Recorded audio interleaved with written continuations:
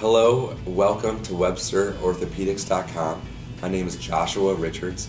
I'm a hand, elbow, and shoulder surgeon. I'm here to talk to you today about post-operative management for shoulder arthroscopy. After surgery, you're going to have a big, bulky bandage.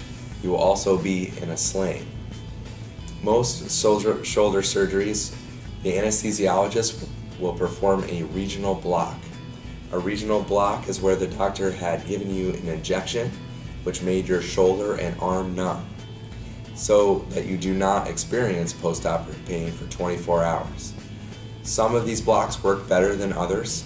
Some will last more than 24 hours, and that's okay. Some will last less.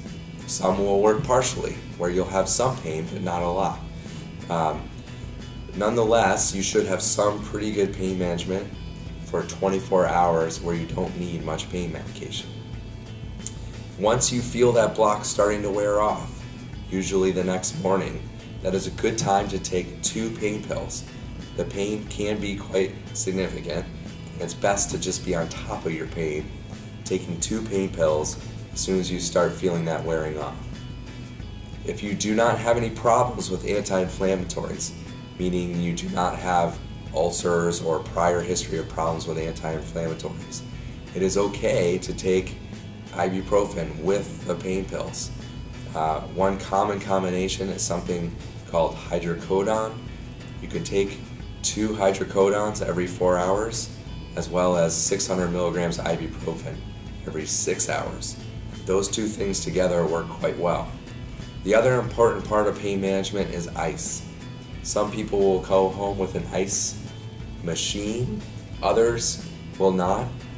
And my favorite type of ice is frozen bags of peas. You'd want to buy two large bags of frozen bags of peas. You put one on for 20 30 minutes, take a break, put that one back in the freezer. 30 minutes later, take the other bag and just keep rotating. 20 30 minutes on, 20 30 minutes off. You want to be careful that the bag is not touching your skin. Typically there's so much tape that you couldn't get it near your skin on your shoulder.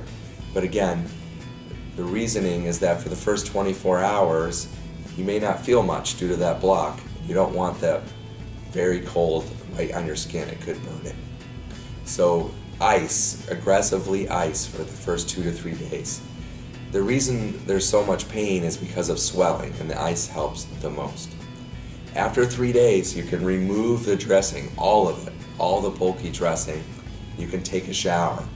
Usually the pain is significantly less after the first three days because the swelling has gone down. So usually the third night, post-operative night, is much better. Take the dressing off, the pain's much less, take a shower, you'll feel significantly better. You pad the cuts dry and you put band-aids over the small incisions. Sometimes people will have another incision in the front where you'll notice white strips that are very stuck to the skin. Just leave those strips in place, do not take them off. Uh, and you don't have to put band-aids over those. They are much more protective than band-aids. So the band-aids are for the small cuts, the black stitches in them, usually two or three. Over the white strips, you don't have to place anything over them. After that, you can go back into your sling and you don't have to do anything with the dressings after that. As far as the shoulder motion concerned, in the first post-operative period, we really don't want you doing a whole lot of shoulder motion. One simple exercise is to do what's called the itsy bitsy spider or a wall crawl, which is where you take your fingers against the wall, stand close to it, and then gently use your fingers to help raise it. You can also use your elbow to help support it. You can go as high as you want typically, unless I tell you otherwise. You can go all the way up if you can make it. But generally getting to about 90 degrees is reasonable. That helps ward off stiff, stiffness. You do not need to do really anything else with shoulder motion. However, with your elbow and fingers, we do want you moving those. So at least twice a day you get out of the sling and let your elbow rest at your side perfectly straight and just bend your elbow a couple times to make sure it's getting straight. As far as your fingers go, sometimes they can get quite swollen. The swelling can go all the way down into the fingers.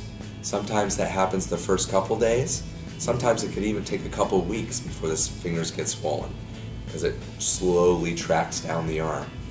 So in the post-operative period, we want you making a full fist, not squeezing a ball, which would prevent motion, but making a full fist so that your fingers get into your palm, so that your fingers are not getting stiff.